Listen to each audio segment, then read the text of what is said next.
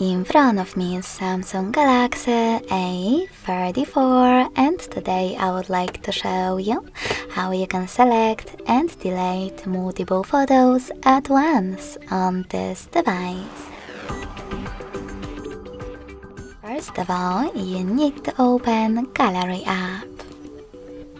Now select one of your albums, in my case downloads, and hold one of your pictures that you wish to delete.